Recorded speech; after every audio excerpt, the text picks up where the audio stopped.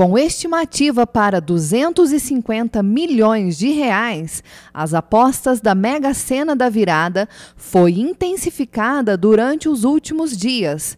O sorteio será realizado hoje com transmissão ao vivo pela TV aberta. De acordo com um proprietário de loteria, as apostas nessa data triplicam. Realmente o número de apostadores na Mega da Virada, ela triplica nessas, nessa semana que antecede a, ao sorteio do jogo.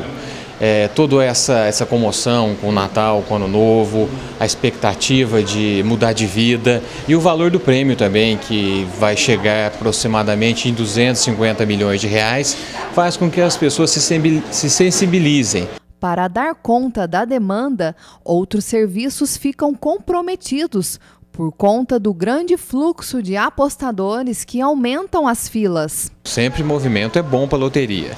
Os outros serviços também ficam um pouquinho comprometidos, recebimento e pagamento de benefícios sociais, mas nós temos estrutura para atender a todos. E é sempre bom poder atender. E cada um tem seu método de apostar e também já sabem o que fazer com o prêmio. O senhor vai fazer se ganhar 250 milhões? Ainda não sei. Joguei aleatório. É, é o que der. Vamos tentando. É, tem que planejar muita coisa, né? É, primeiro eu precisaria ganhar, né? Depois para ver o que pode ser feito. Mas já já fazer muita coisa, né? Realizar muito sonho. Primeiro eu ia passear com a minha família.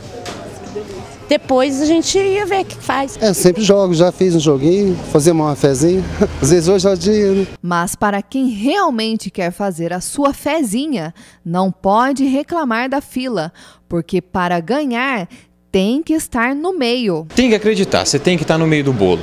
Tem uma piada aqui num filme muito interessante que tinha um senhor que ia todos os dias, durante vários e vários anos, pedir para Deus para ganhar na loteria. Eu quero ganhar, meu Deus, eu quero ganhar, meu Deus. Por fim, Deus mandou uma mensagem para ele: Por favor, meu filho, pelo menos joga.